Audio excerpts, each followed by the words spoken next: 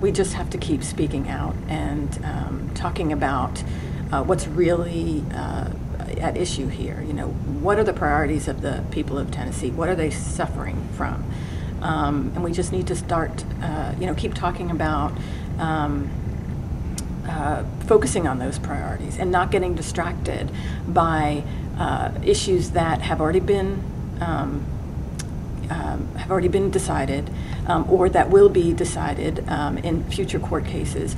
Uh, because right now, that's not going to help the people of Tennessee who are suffering in this bad economy, who um, you know are suffering from high unemployment and are finding it difficult to uh, feed their families because food prices are so high.